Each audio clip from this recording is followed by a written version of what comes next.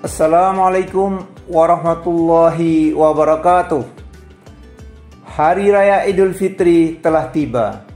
Ini saatnya kita untuk meraih kemenangan. Ramadan yang telah kita jalani memberikan pesan untuk terus belajar dan terus berbuat baik kepada sesama.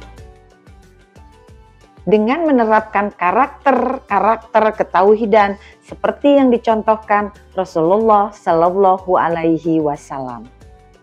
Dengan berakhirnya Ramadan, mari kita sambut hari raya dengan sukacita serta meningkatkan nilai-nilai kebaikan dan bersikap baik kepada sesama.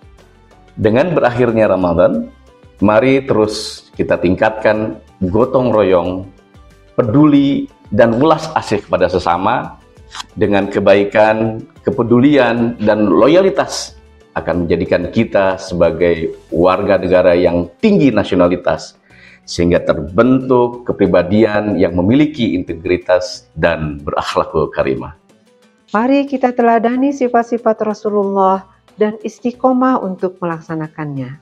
Kita buka lembaran baru, melangkah ke depan menuju UNIDA unggul.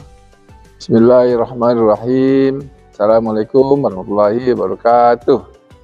Saya Martin Rustami, selaku Kanselor Universitas Juanda.